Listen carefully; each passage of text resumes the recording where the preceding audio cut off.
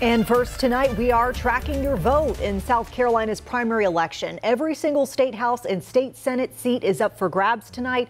We're also tracking all seven races for the House of Representatives. Yeah, there are a lot of races. So if you are looking for one in particular, it will show up at the bottom of your screen. But one race we have been following closely is the York County Sheriff's race. That's right. At this hour, we cannot call the race, but here are the uh, numbers that we're seeing here as we come on the air. Michael Belk leading with about 26% of the vote. Tony Breeden in second with 25 percent of that vote. Yeah, Beth Tolson, you can see the wife of current Sheriff Kevin Tolson is in third with 19% of the vote. She was at the first, or she was the first Republican uh, running uh, after her husband quietly exited the race. Beth filed to run at the last second, but York County Republicans later reopened and extended the filing deadline to allow others to toss their name into this race. So all of these candidates on the ballot have law enforcement experience. No Democrats are running, so whoever wins this race will likely take over as York County Sheriff.